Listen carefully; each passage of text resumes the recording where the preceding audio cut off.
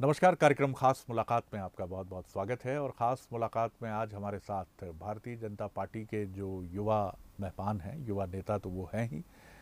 और किसी बढ़िया फिल्मी हीरो जैसी खूबसूरती है उनकी, बहुत ही शानदार और अगर आप भी जैसे ही हमारा कैमरा, उनका तारुफ, उनका इंट्रोडक्शन आपसे कराएगा तो आपको लगेगा ऐसा ही कि कोई मॉडलिंग या फ़िल्म जगत का कोई युवा आपके हमारे साथ है। आते वो एक बड़े राजनीतिक घराने से हैं, लेकिन जितना हमने अब तक उनको देखा है तो वो बहुत ही हम्बल तरीके से इन तमाम चीज़ों को लेते हैं। और लग देख कर तो उनको यही लगता है, कई बार आप और हम ये मानते ज़रूर हैं कि एक अच्छा बैकग्राउंड मदद करता है। लेकिन जैसे अभिषेक बच्चन साहब के लिए चुनौती बनती है, वैसे कई बार मैं भी ये देखता हूँ कि जो हमारे स्टालवर्ड्स लीडर्स के बच्चे हैं, उनके जो भी किथ एंड किन हैं, जो भी उनके परिवार से हैं, उनको काफ़ी चुनौतियों का सामना अपने आरंभिक काल में इसलिए करना पड़ता है कि वो नेता पुत्र हैं या पुत्री हैं या कई बार उनके परिवार से हैं, पत्नी हैं, बहन हैं। मैं जिन युवा नेता की बात कर रहा हूँ, उनके साथ भी आप कह सकते हैं कुछ इस तरह की चुनौतियाँ रही हैं। और एक चुनाव भी वो लड़ चुके हैं ये अलग बात है कि उसमें कामयाबी उन्हें नहीं मिली लेकिन ये माना जाता है कि अगर आप बहुत आरंभिक स्तर पर चुनौतियों से रूबरू अपने जीवन के आरंभिक काल में होते हैं तो बाद के लिए आपकी नींव बड़ी मज़बूत हो जाती है बड़ी स्ट्रांग हो जाती है। आ, उनका बैकग्राउंड पढ़ाई का भी बड़ा मज़बूत रहा है मैकेनिकल इंजीनियर वो रहे हैं और बाद में एमबीए उन्होंने मुंबई के एक लीडिंग इंस्टीट्यूशन से किया और फिर विज्ञापन की रुपहली सुनहली दुनिया में भी काम किया। और मध्य प्रदेश टूरिज़्म का जो एक बड़ा सुंदर सा विज्ञापन आपने हमने देखा, जो छायाओं के माध्यम से शेड्स के माध्यम से मध्य प्रदेश के पर्यटन स्थलों को रेखांकित करता था, उसका भी वो एक विनम्र हिस्सा रहे। तो मुलाकात करिए, मेरे साथ हैं भारतीय जनता पार्टी के युवा नेता मुदित शेजवार जी, जो डॉक्टर गौरी शंकर शेजवार भारतीय जनता पार्टी के मध्य प्रदेश के वरिष्ठतम नेताओं में से हैं, उनके पुत्र भी हैं। सर। नमस्कार पहला तो मैं यही आपसे जानना चाहूँगा कि हम सबके साथ हमारे पिता का नाम जुड़ता है और हमें अच्छा भी लगता है। लेकिन जब हमारा हमें जन्म देने वाले हमारे पिता कोई बड़ी शख्सियत होते हैं तो ये एक दबाव भी होता है, ये एक चैलेंज भी होता है, ये एक चुनौती भी होता है। तो डॉक्टर गौरी शंकर शेजवार, इस नाम से मुदित शेजवार जी का पिता पुत्र का तो नाता है ही लेकिन एक संघर्ष का भी नाता है क्या नहीं सर सबसे पहले तो ये सबसे बड़ा जीवन में मेरा सबसे बड़ा सौभाग्य है कि मैं उनका बेटा हूँ हम्म। और ये सिर्फ़ इसलिए नहीं कि वो भारतीय जनता पार्टी के मध्य प्रदेश में कई उच्च पदों पर रहे जिस भी हम्म। जो भी उनका राजनीतिक स्तर रहा है हम्म। ये इसलिए क्योंकि वो एज अ ह्यूमन बीइंग जो हैं मैं इसलिए सौभाग्य मानता हूँ जीवन में जो भी मैं सीखा आज तक जो भी हूँ सब हाँ। कुछ उन्हीं की देन है और उन्हीं के पद चिन्हों पर मैं आगे जीवन में बढ़ना चाहता हूँ। हाँ, कई बार जैसे हम बात कर रहे थे कि अमिताभ बच्चन के पुत्र हैं अभिषेक रोहन गावस्कर हैं सुनील गावस्कर के पुत्र सचिन तेंदुलकर के पुत्र अर्जुन हैं। एक तुलना समाज बड़ी जल्दी जल्दी शुरू कर देता है कि मुदित जी आपके फादर इस एज में यहाँ थे और वो इस तरह के थे वो ऐसे थे। ये बहुत स्वाभाविक है। इससे इसको आप किस तरह देखते हैं? इसको कितना स्पोर्टी मैनर में लेते हैं? या किस तरह समाज की सोच को आपको लगता है कि समाज बड़ा स्टीरियोटाइप सोचता है या ऑर्थोडॉक्स सोचता है? सर स्वाभाविक है। हम्म। मतलब अगर किसी ने बड़े पर्दे पर अमिताभ बच्चन जी को देखा है हम्म। तो स्वाभाविक है जब किसी को ये पता चलेगा कि अभिषेक बच्चन है तो कंपैरिजन तो होगा हम्म। पर मेरा मानना है चुनौती जैसा इसको लेना चाहिए हम्म। जो भी इस लैंडस्केप में लोग हैं हमारे जैसे लोग हैं और सकारात्मक पहलू ये देखें कि जैसे मैं अपना उदाहरण दूँ तो मैंने जीवन में अगर अपने पिताजी को छोटे बचपन से ही जो आज तक देखा है तो उतना ही देखने के साथ साथ सीखा भी है। हम्म। तो चुनौती के रूप में लेके इसको हम ऐसा भी ले सकते हैं कि चूँकि हम बचपन से ये सब सीख रहे हैं तो हमारा परफॉर्मेंस हम्म। उतना ही बेहतर भी होना चाहिए। हम्म। तो आ, मेरे हिसाब से आ, इसमें कोई कंपैरिजन में बुराई नहीं है और पॉजिटिव रह के हम उनसे और दो कदम आगे बढ़ने का आ, मन में ऐसा सोच के प्रयास करें तो आगे भी निकल सकते हैं। बुदित जी आपने एक अच्छे इंस्टीट्यूशन से मुंबई के नरसी मुंजी से आपने एमबीए किया और पीयूष पांडे जी जैसे जो विज्ञापन की दुनिया के एक बहुत ही लेजेंडरी शख्सियत हैं पर्सनैलिटी हैं उनके साथ आपने काम किया। पर्सनैलिटी माशाल्लाह आपकी बड़ी खूबसूरत है ही। मुंबई की रुपहली सुनहली दुनिया से निकलकर राजनीति की इन कांटों से भरी गलियों में आना ये क्या परिवार से प्रेम की वजह से हुआ? क्योंकि लोग ये कहते हैं कि मुंबई कई बार एक माया जाल है वो भी जैसा राजनीति भी है। कि आप एक बार उस दुनिया में जाते हैं तो फिर जल्दी लौटने के बारे में नहीं सोचते।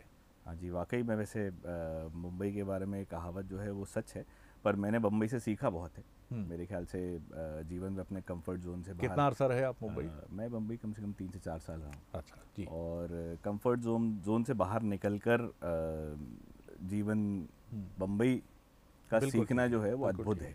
आप एक एक आपको एक अलग जीवन शैली हम्म। सिखाती है बम्बई उसके अलावा जहाँ तक राजनीति ही में एंट्री की बात है तो आ, मेरे परिवार में कभी भी हम जैसे आ, हमारे पिताजी माताजी ने जो भी हमारी अपब्रिंगिंग रही है कभी बचपन से सोचा नहीं था ना हमने कभी सुना कि राजनीति में जाना है। मेरे पिताजी ने मुझे कभी नहीं बोला कि तुम्हें भारतीय जनता पार्टी में काम करना है या फिर तुम्हें एज अ पॉलिटिशियन अपना करियर चुनना है।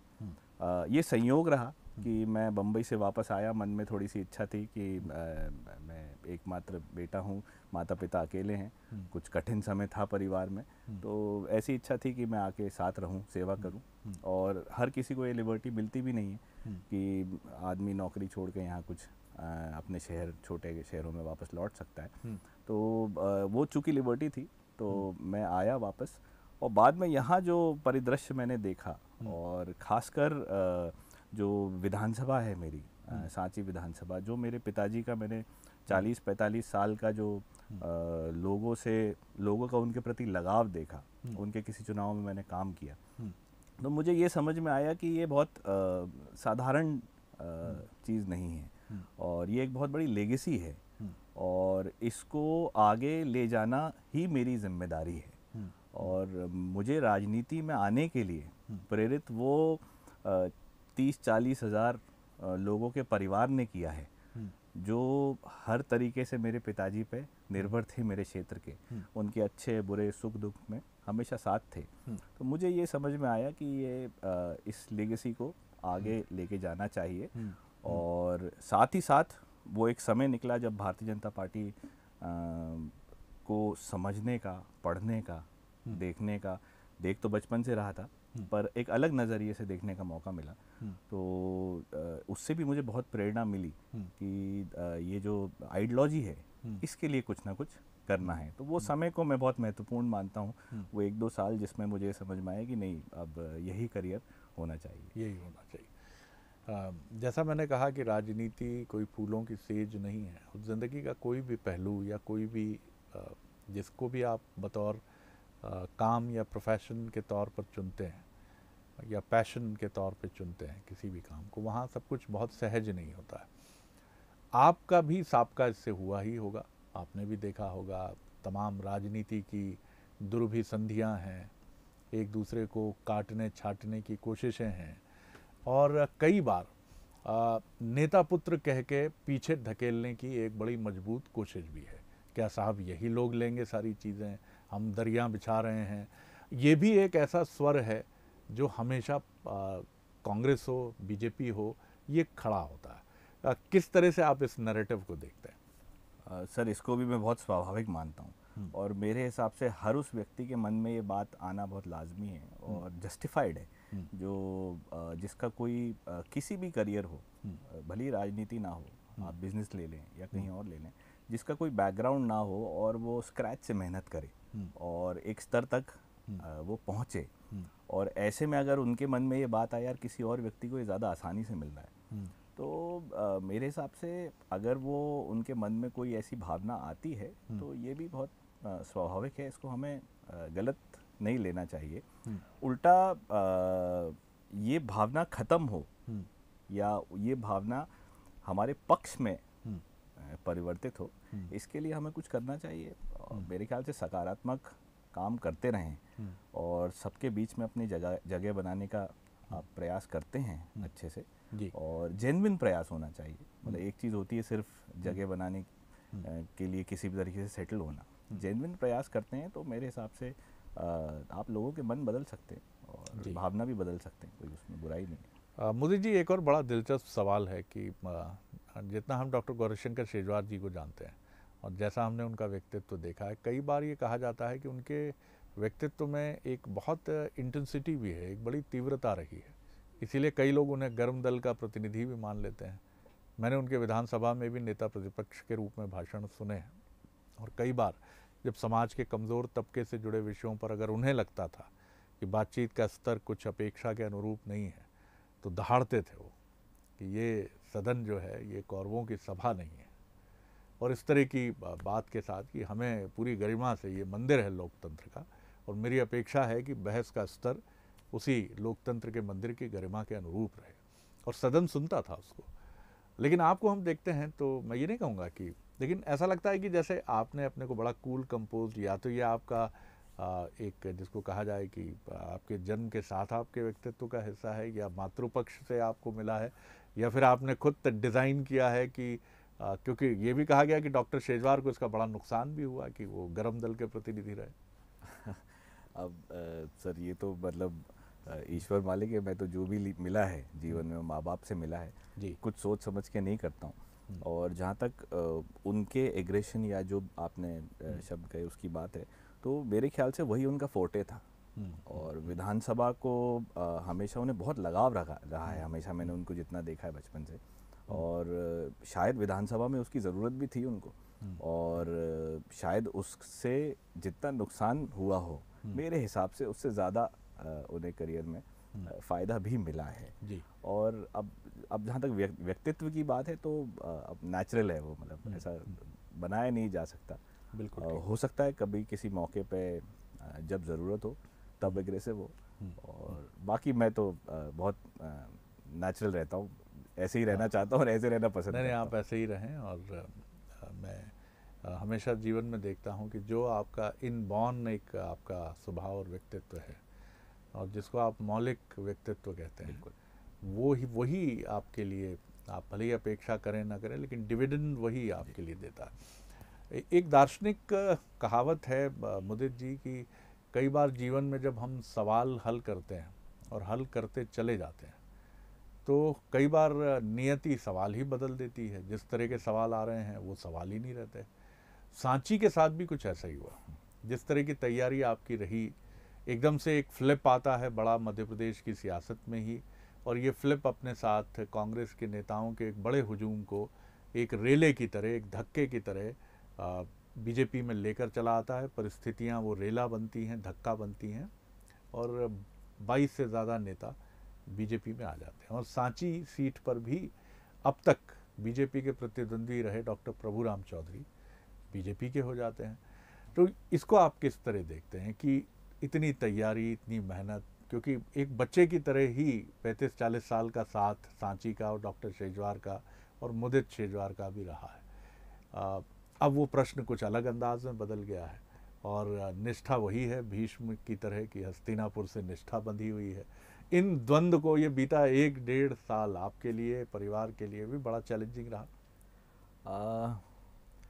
इमोशनली कह सकते हैं थोड़ा शुरुआती दौर में चैलेंजिंग था क्योंकि हम्म। अगर पीछे जाके देखें तो हम्म। जो 22 सीटें हम्म। रही हैं हम्म। इनमें मुझे बाकी इक्कीस का तो नहीं पता पर इस सीट पे थोड़ा सा जो काफ़ी पुराना प्रतिद्वंद जाता है। मानिए डॉक्टर चौधरी जी कांग्रेस से काफ़ी समय तक रहे यहाँ से पिताजी रहे। जी। तो ये बात फैक्ट है कि इस बदलाव को एब्जॉर्ब करने में थोड़ा सा समय लगा। पर लार्जर पिक्चर देखें हम्म। तो जीवन में सब कुछ जो भी है हम्म। पिताजी जिस जो भी जीवन में आज हैं हम्म। परिवार हमारा जो भी है मैं भी आज जो भी हूँ ये सब भारतीय जनता पार्टी की देन है। अगर भारतीय जनता पार्टी उनको नहीं पहचान देती और यहाँ तक नहीं लेके आती तो शायद आज हम भी किसी और स्तर होता कहीं और होते।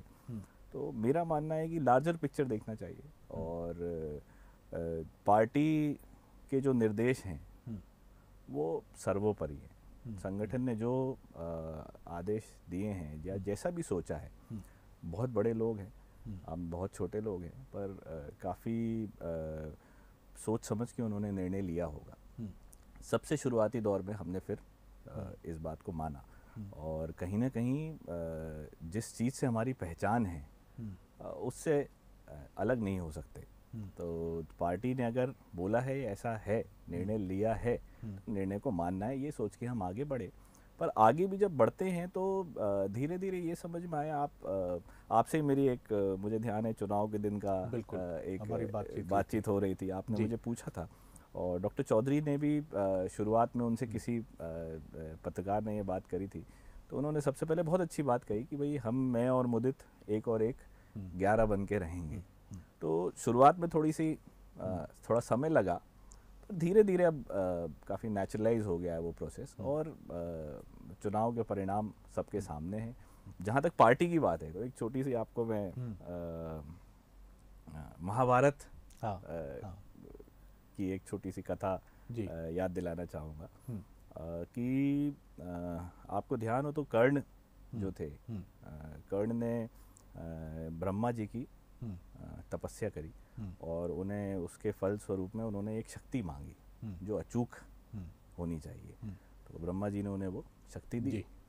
उन्होंने वो ये बोला कि यार एक बार के इस्तेमाल की है तो उन्होंने मन में सोच के रखा था कि ये मैं अपने सबसे बड़े प्रतिद्वंदी जो हैं उसी के लिए इस्तेमाल अर्जुन के लिए हाँ। मैं रखूँगा। जी।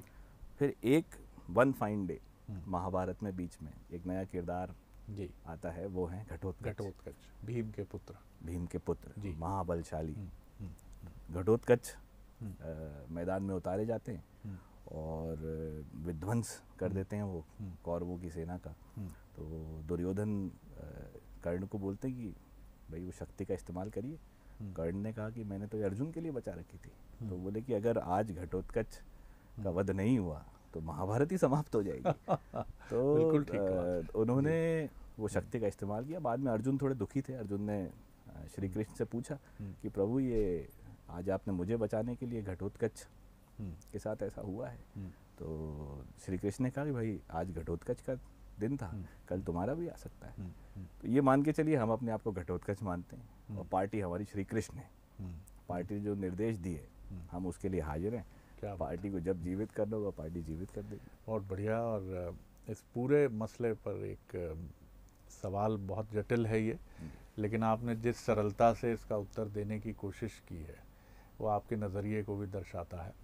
और जीवन का सबसे बड़ा मंत्र गीता का वही है कि accept life as it comes आपको सवाल खड़े करने का अधिकार नहीं है कि ऐसा क्यों क्यों हो गया। ये किसी शहनशाह और किसी बादशाह के पास भी ये इख्तियार, ये अधिकार शायद नहीं है। नियति ने जो भी फैसला किया है, खैर तो क्या सांची ही वही हॉट फेवरेट रहेगा या मुदित शेजवार और डॉक्टर शेजवार अब कुछ आसपास के दूसरे विकल्पों पर भी विचार कर रहे हैं क्योंकि 2023 भी शेजवार जी का ही एक स्वाभाविक दावेदारी है सांची से।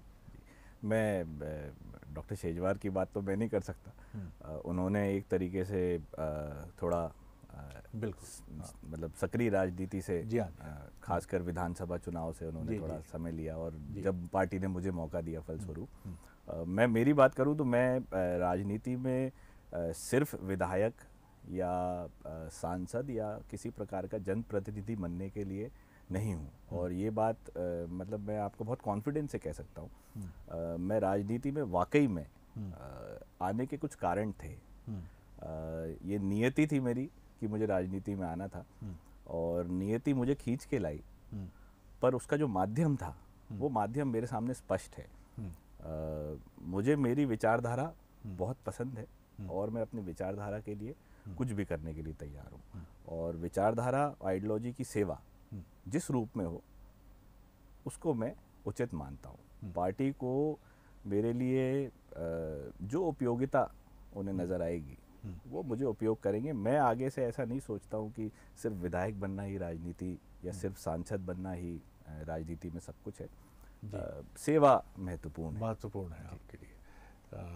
कंक्लूड करूँगा एक दो छोटे सवालों से।